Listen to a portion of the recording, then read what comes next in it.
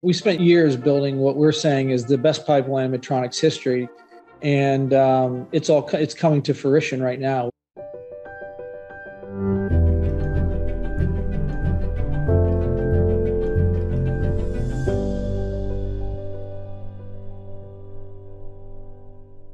Hello, everyone, and welcome to Talks at GS. We're very pleased to be joined by Geoff Martha, Chairman and Chief Executive Officer of Medtronic. Medtronic develops life saving products that treat more than 70 health conditions and is among the largest medical device companies in the world. The company invented the first battery powered pacemaker more than 60 years ago and is a global supplier of ventilators. Geoff joined Medtronic in 2011 and assumed the role of Chief Executive Officer during the initial COVID wave last year. Geoff, thank you very much for taking the time to join us today. Yeah, thanks, John. Thanks for having me. So I have to start with the pandemic uh, because you officially took the reins as CEO weeks into that first COVID surge last year when ventilators were in high demand. There's obviously a, a business that's important to Medtronic. And I read that in the span of one hour on a Sunday night in March 2020, you fielded calls from the White House, the President of Ireland, and several governors. What was going through your mind in that moment? And did it feel as though the weight of the entire global health crisis was resting on your shoulders as you were assuming the role of CEO of Medtronic? Well, the, the, first thing that went through my mind is how, to, how the heck did everybody get my number? I, uh, you know, some block numbers came up, and and so I guess the government has ways to, ways to get your number. But um, you know, once that once I got past that, yeah, it was uh, it was a big moment, and it was one uh, it was one I'll never forget. You know, we were um, you know we're one third of the world's critical care ventilators, and um, uh, it was clear at that moment that um, you know demand, and this kind of followed by something that happened in, in your backyard, uh, John, in New York, with uh, at the time Governor Cuomo and Michael Dowling, who was the CEO of Northwell, said, "Hey, look, we need 500,000 or something like that ventilators just for New York City alone," and that that those statements is what you know caused a run on the bank, if you will, uh, and and all those calls is the and and it was clear that we're going to have to do something dramatic uh, and and and really focus on this. Um, and and the other thing that was going through my mind is once we realized how big the, the gap was between the the the demand and and the our ability to supply, um, how are we going to you know how do you allocate what you have too? Uh, how do you decide who gets what? So there was a lot of heavy questions going through my mind at that point. So that exorbitant demand for ventilators was something that the market, let alone Medtronic, had really never seen before. You took the unprecedented step of publishing the open source design of your ventilator which led to some very creative and unexpected partnerships. If someone had told you that just a few short weeks into your term you'd be collaborating with SpaceX and Elon Musk, what what would you have said? I, would have I would have called BS on that one. I never thought in a million years. It, it, it did come out of. It's amazing, you know, when you take steps like that. It, it you know what some might view as a scary step because we're a, a, technology company and our and our IP and in our know-how. It's more it's more than our, our IP. We put all the drawings online. It was it took us a, a, over a day just to get everything online. Uh, it was the, the instruction manual how to make these things, and we did it for a couple of reasons. Some of it was we just couldn't get certain parts. Our ventilator is uh, our ventilators, for example, our critical care one in particular. I think it's like fifteen hundred uh, parts uh, from 100 uh, different suppliers in 14 different countries, something like that. So these aren't high, they traditionally have not been high volume machines. You know, hospitals buy them and hold on to them for seven, eight years.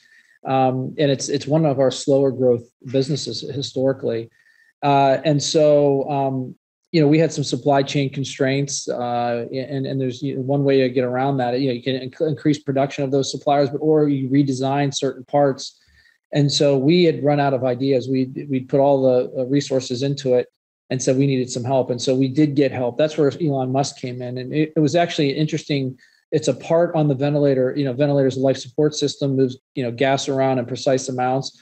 Well, turns out so as the spacecraft has life support systems. And he, when I actually talked to him, he said, look, this this particular part that we're looking for called a proportional solenoid valve. There's something else I never thought I'd know what that is you know, it it uh, they also use them as spacecraft, and and he said the supply chain was uh, not dependable, which which we we were seeing as well, and so he insourced it and said, look, if, if we can help, let's we'll do it, and he did, and so that was one uh, interesting partnership. Intel was another. Uh, they helped us. Uh, you know, healthcare workers didn't want to go into the ICUs with all this, uh, you know, aerosolized uh, COVID, in the air uh, to, to change ventilator settings. So we were able to do it now remotely and monitor the patients remotely from outside the room. Intel helped us with the computing power necessary for that. Of course, the FDA worked with us on quick approvals. So it, it really made us, uh, it made a, we have a better product than we used to have. And, um, you know, reputationally, our employees were very proud of what we did and, and it, it improved our standing with governments. And in healthcare, trust is a big thing. And, and, and other stakeholders now, I think uh, it, it, it made us stronger. That's terrific. So, Medtronic's long held mission statement of embracing corporate citizenship and putting patients before profits is deeply ingrained in the company's culture. We know that well. We've been associated with you guys closely for a lot of years. Uh, and it's been it's proven to be decades ahead of its time. Did that serve as the driving force behind the decision to open source and essentially give away the design of your ventilator? The mission is like a is a is a we use it as a to drive our day to day decisions. It's not just something words on a wall or aspirational and because it's so, you know, it's got these six tenets that cover everything from putting, you know, you know, patient, you know, talks about patient health, you know, are, are, are using biomedical engineering to alleviate pain, restore health, extend life. It focuses us. It says focus on what you're good at, not what you're not. Make a fair profit. Um, you know, we, it's up to us to decide, what's fair. But it gets into corporate citizenship. It gets into um, the wellness, you know, the the, uh, the personal worth of employees. Remember, this was written 60 years ago, and it was written in sorry 1960. So back then, people weren't talking about corporate citizenship; it wasn't even a word. Uh, yet we it, that word is in our mission. So uh, and and and the uh, investing in communities and and employees. So this has been an unbelievable tool for us. It's it's aspirational, but it's also it's it's operationalized in how we make decisions.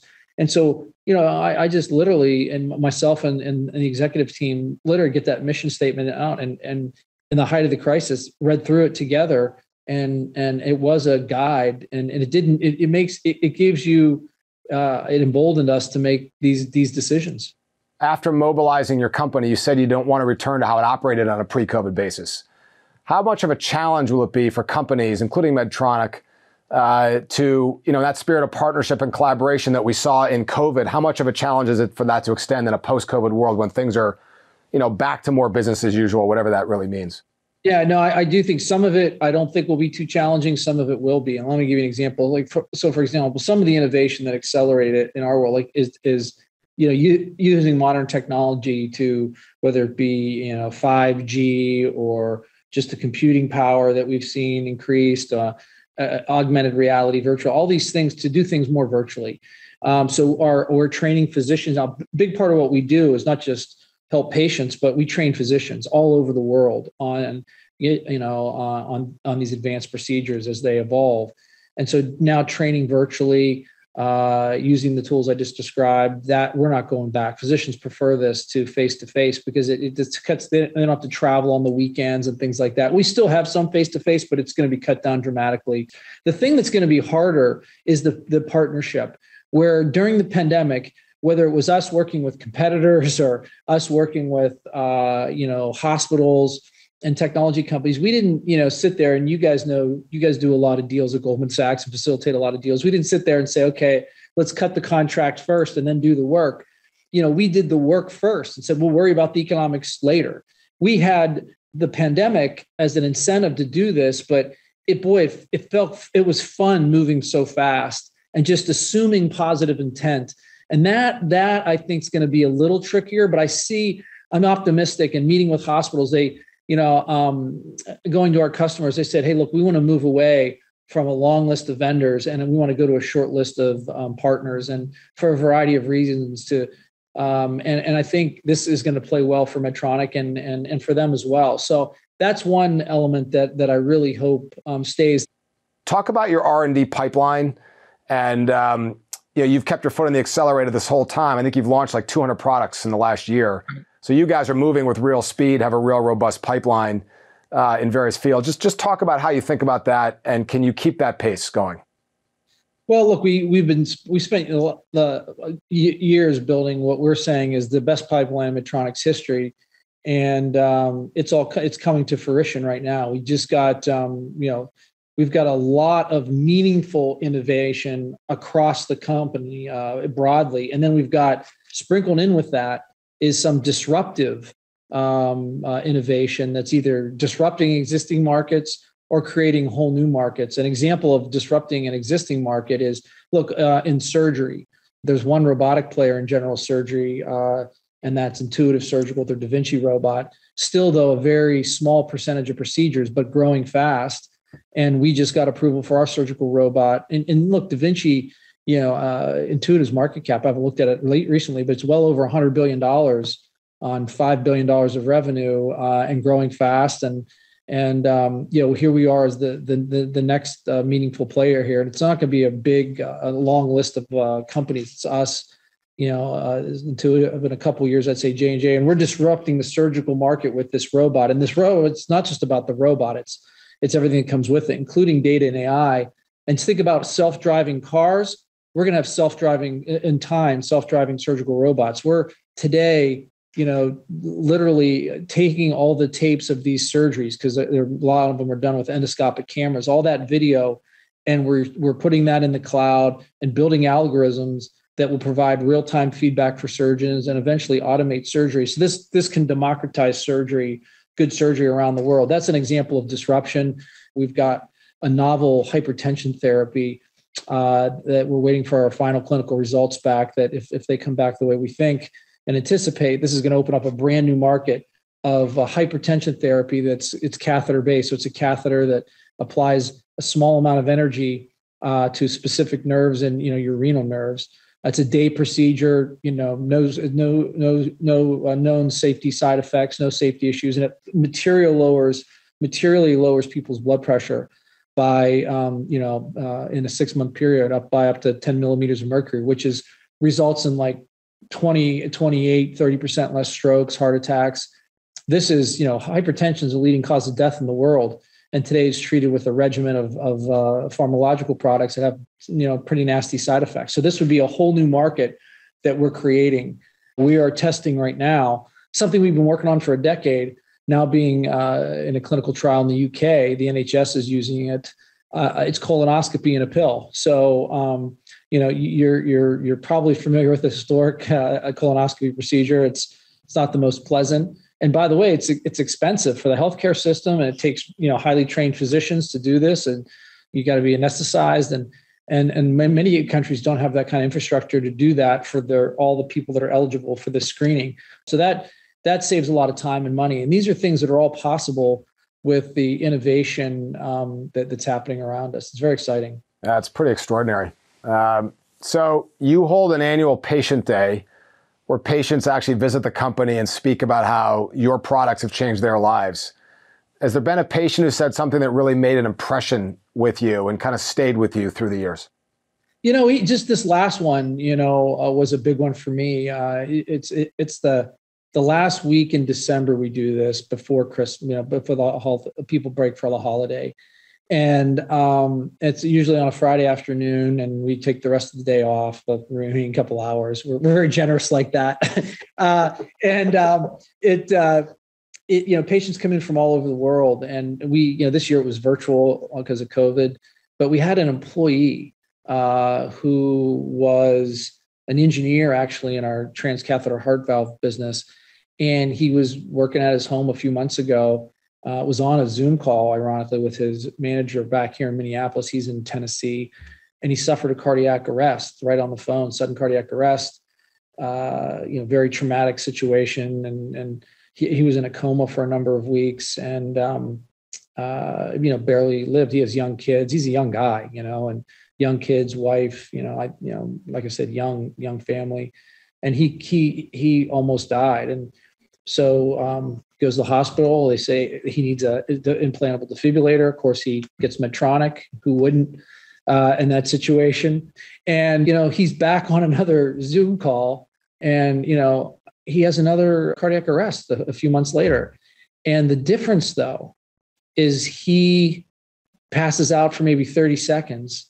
Uh, the, the the implantable defibrillator does its thing. He's back up, uh, and he's fine you know, and he actually gets back on calls. Is a dedicated employee, this guy, later that day. The difference between, you know, the difference between that first incident where he was in a coma for a couple of weeks and didn't know if he was going to make it, and and the second one, right, because he had that therapy, uh, and he bounced back up and, and with less than a minute and and uh, you know was back you know li- literally back at work i'm not sure i recommend that but but the dichotomy of those two things is is really compelling. And then he said you know we sit here and we have our all our town hall meetings and all our we talk about product quality and patient safety. And he says now having experienced this for, first firsthand those words are more meaningful to me. And and uh, it just it just it just hit me hard in terms of what we do and, and every day and the impact it has on people's lives.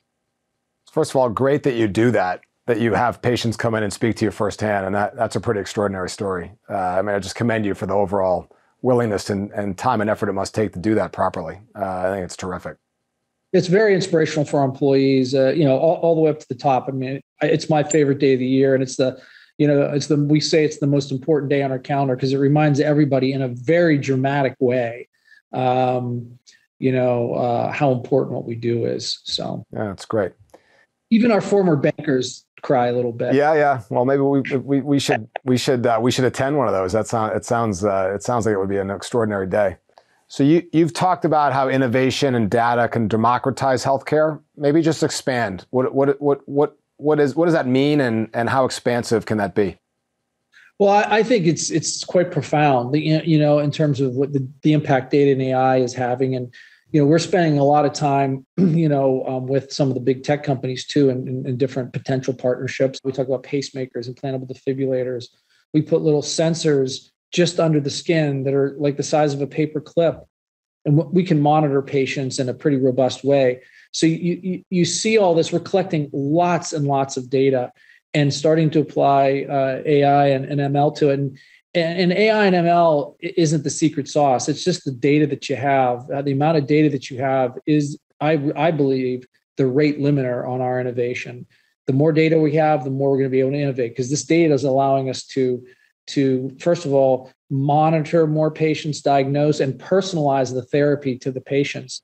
Just continuing to talk about data you know the flip side of aggregating all the data is protecting the data. And we've had you know in the last year i think a record number of hacks you know for corporations not healthcare only but just broadly defined certainly in financial services we continue to see you know a lot of cyber threat maybe you can talk a bit about what you think needs to be done to create the balance between enabling the broad aggregation and sharing of data that you're referring to um, while safeguarding the security and privacy for patients?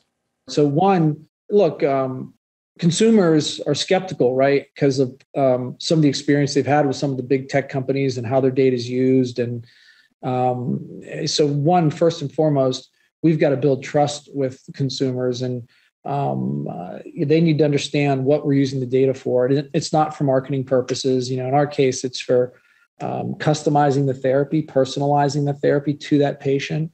It's for safety, so we monitor the safety of the products ongoing, and it's also to help us innovate to that next product.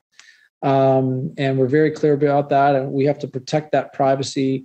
Come up with um, you know industry um, standards of how we're protecting uh, patients' privacy and build that trust up with them. That's that's key. And then on the security side, look, we we've broken it down into two uh, two work streams here. Um, there's the device security, right? Uh, making sure our, our devices are, are um, you know, kind of cyber proof, and you know, there we're working very closely with the FDA. I, I actually personally meet with the FDA on a quarterly basis, uh, and one of the standing topics with the highest levels of the FDA is cyber and we've put um, you know a, a you know a, a, dedicated team around that inside Medtronic, but we've brought others fr- from our industry together as well uh, to work on this, and we, are actually hiring you know uh, hackers. The, the, the politically correct term now is researchers, uh, but we hire these these researchers to try to breach our devices on a regular basis and, and educate us. And and so that you know look um, uh, it's it's it's tough to stay ahead, uh, uh, but we're putting a lot of resources into this and collaborating with others in our industry and outside of our industry, uh, as well as the the regulators around the world. You've previously spoken about lessons learned, low points in your professional career. Maybe just give us a window into some of those takeaways and how you've sort of you know built yourself as a leader and, and what your underlying philosophy is. Well, a lot of my uh, philosophy, I, I, I, grew up playing uh, sports. Uh, you know, I played, I grew up in a sports family too. You know, my, both my dad and my uncle played in the NFL and, um, uh, you know, I, I was a, more of a hockey guy myself and uh, play a hockey. It was a big part of my life growing up and, and through college. Um, so a lot of my philosophy is is guided around teams and the importance of teams, and so um, that's a big piece of it. And things that I'm you know kind of looking for and, and aspire to be myself uh, are I'd say three three things. One is clarity of thought. So, uh, and that's a little different than just being smart. You know, it's hard. You know, clarity of thought. There's a lot of smart people that are, scatterbrained sometimes, right? This is it, you do have to have a certain level of IQ to be clear, clear thinker, but the ability to take all this information and distill it down to the critical things. And I learned a lot of that, you know, and I'm I'm always always striving to improve, but I learned a lot of that doing M and A work at GE Capital.